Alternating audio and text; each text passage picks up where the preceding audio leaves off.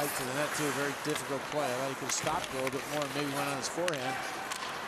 And now a chance the other way. Tvrdon moves in with Landon Brown. Fires, he scores! That will probably seal it with 2.44 to go in the third. Four unanswered by the Griffin. Sure is. No, Not just, a lot yeah, of nothing allowed. Bounced over Peter Mrazek. Looked like he was sitting in the crease, Lou, and Yeah. then somehow went in.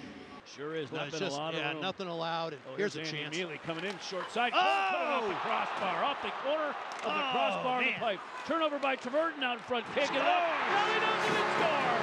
Tvrdon poked it in on a second effort, short side after a great opportunity, and the Griffins have tied it back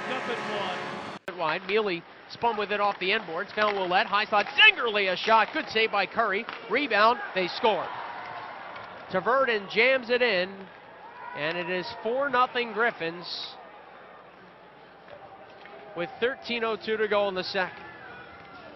Well, that was just a puck battle in front of John Curry's goal crease after he made the first save. The Wild couldn't find it. Tvrdon did. Play here this evening. Now Mantha to Zingerly.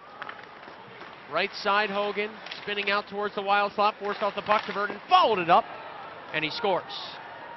A power play goal. Marek Tvrdon has made it 5 0 Grand Rapids halfway through the contest.